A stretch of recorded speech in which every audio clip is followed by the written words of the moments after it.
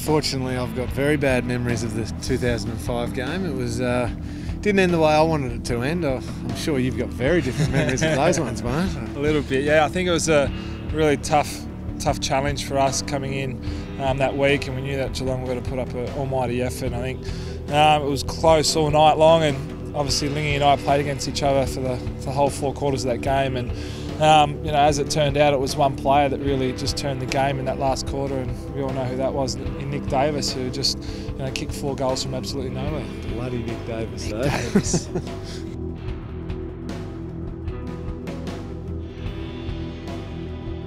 Oh, I think without question the toughest opponent I've ever had playing in Sydney is this bloke here, and I'm not just saying it because he's standing next to me. Slip me that 50 later on. Yeah, but, mate. um, no, fantastic footballer and just so hard to beat and so dangerous in all parts of the ground.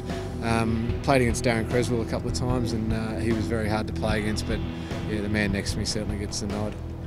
Yeah, look, I think um, Geelong have got they're such a fantastic team, and um, obviously playing against them and knowing that Cameron's going to come to me, um, you're never just playing against um, Lingy when uh, you play against the Cats, and I think his voice to you know when I did get him on the spread, that his other teammates would support him very well, and I think that's what um, you know we value ourselves at, at the Swans as being a, a, team, and I think Geelong have definitely um, got to that level, and they especially did that when um, we played against each other because um, it wasn't just Lingy that would, would, would be picking me up; it was a whole 22 man um, game plan to, to stop each individual out there.